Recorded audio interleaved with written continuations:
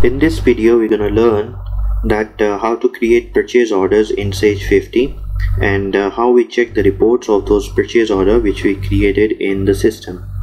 So we have this purchase order. We're gonna order these items to our supplier to the vendor Red Ferry that we need 20 pieces of keyboard and the unit price is 30 20 pieces of mouse.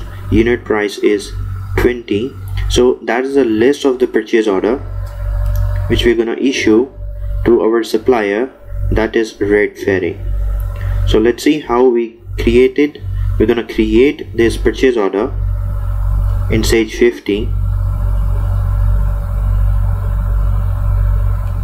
so in this vendors and purchases we do have this tab or this button that is purchase order from here you can create a new purchase order. You can select auto creation for uh, multiple purchase order for different suppliers. You can edit or view the purchase order which you created. And we can also create a memorized purchase order. So the next time if you want to create the purchase order you can use that the template of that purchase order. And uh, if you want to print a different purchase order we have this option. So the first step is that we need to create the purchase order. You can click this option but we're going to use here the task. In the task we have this purchase orders. Click it and this window will open. So the first step is that you need to select the vendor ID so we are creating for the supplier that is Red Fairy and that is the address of the supplier. And that is the address of our company that is Burhan Electronics. And that is the date when you're issuing the purchase order. So we're going to issue this today. And then we have this goods through that they need to deliver the items before this purchase order gonna be cancelled. So this is valid for till 22nd of the same month August and that is a unique purchase order number and that is a mandatory information. If you don't enter uh, enter this uh, purchase order number it will give uh, like it will create difficulty for you when you're receiving the inventories. So let's suppose our purchase order number is 63633 and once you eh, once you receive all the stock against this purchase order it will be closed automatically. Then we have this drop ship. You can check this option. If you want that this supplier red ferry they will not deliver the order to burhan electronics but they will deliver the order from red ferry to our customer directly. So in that case we use this option drop ship then uh, we don't have this information that customer sale order number that is customer invoice number that is the discount amount that is the default terms and condition we enter. Then we have this shipping method that is a default one. That is our accounts payable account which we also enter default that is 201 and then we have this quantity. So our first quantity the first item is the keyboard so we are going to order 20 pieces of keyboard and the price is 30 so the quantity that is 20 enter. And our first item is that is keyboard. That is the description. You can edit that right now. No, I'm not doing this. Enter. And that is a GL account of inventory. Because when you once you purchase it your stock that will be increased. So that is 108 and that is a unit price that is 30 enter that is the amount. Enter. This job is used when you're doing the job costing right now not applicable. Enter. Then again we have 20 enter and we're gonna order the next item that is the mouse.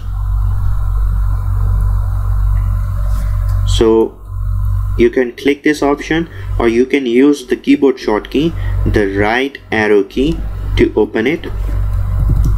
So that is mouse enter.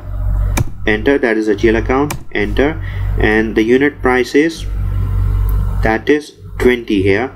So we can change that unit price that is 20 enter enter enter. The next quantity is 20 and the next item is that is CPU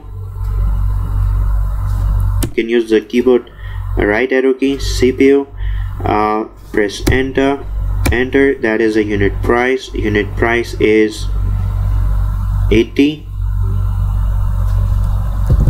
you can change it. Enter enter enter. The next quantity is 20 enter and uh, the next item is monitor. Enter enter. You can check the price. The price is 60 enter. Enter. Quantity is 20 the next item is hard drive. Enter. Enter. And the unit price is 200 and then we have mobile 2500 enter. 20 right arrow we have mobile enter enter and that is the unit price 2500 enter and that is the total amount enter. So that is how we created the purchase order. Uh, we don't have the vendor balances here. It is zero right now because we didn't enter the beginning balance for this red ferry and the total amount of purchase order is 57,800 so that is how we create purchase order in Sage 50 accounting. And then click this option to save. And when you're working in a live environment you can uh, print this one and it will save automatically. You can email it to the supplier also. You can create a memorize for the future use. If you click this option we will cover in the next videos we are not adding a new uh, rows also. You want if you want to give additional note about the purchase order you can click this option. You can see the journal entries behind of this purchase order. You can check this uh, you can open this report also. You can enter an event also. You can uh, that is a default layout. And we can also the check the reports from here. So this is our uh, I just save it that is how you create the purchase order. And if you want to check you can use these that previous record button to check the previous created purchase order. Or you can click the list. And here you can see that how many purchase orders we created in our company